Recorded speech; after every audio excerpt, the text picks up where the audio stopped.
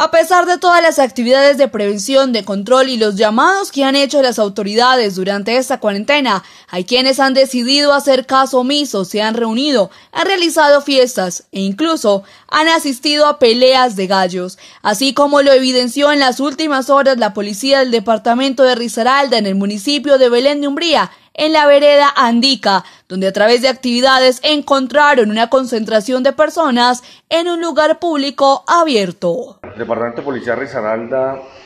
ha instalado 56 puestos de control en todas sus vías primarias, secundarias y terciarias. Hemos tenido una articulación con toda nuestra red de participación cívica en el departamento y es así como recibimos información a diario. Este fin de semana nos informan de un establecimiento público, una gallera especialmente, abierta en la jurisdicción de Belén de Umbría. Llegamos allí, encontramos y logramos detener a 12 personas las otras personas salieron en huía y a estas 12 personas se les impuso una orden de comparendo por su artículo 35 numeral 2 e igualmente al propietario de este establecimiento se le generó el cierre del establecimiento artículo 92 numeral 4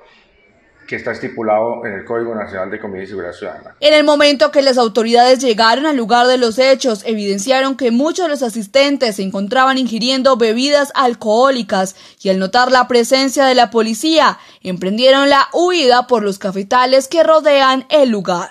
Asimismo, en el departamento de Risaralda han aplicado 6.619 órdenes de comparendo por incumplimiento a la cuarentena. Hemos ejecutado 32 capturas, capturas que se han puesto a disposición de la Fiscalía General de la Nación y están en sus procesos investigativos y judicializaciones para que respondan por el delito de violación a normas sanitarias que en el Código Penal el artículo 368 estipula una sanción de 4 a 8 años de cárcel.